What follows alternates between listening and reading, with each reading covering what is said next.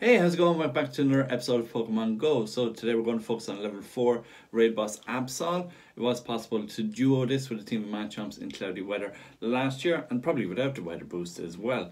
But last December with the adjustment of super effective moves from 1.4 to 1.6 it was possible to solo an Absol uh, which many of you might have seen already on YouTube. Unfortunately, Absol did disappear last month from raid battles and did return. Unfortunately, for the last few days, we've missed out on weather boost or we just missed out on doing Absol raids. Thankfully, today one popped up at the local train station, so we popped out, we jumped in. Unfortunately, it had Psycho Cut and Thunder, which are definitely the hardest moves on Pokebattler on 1.8.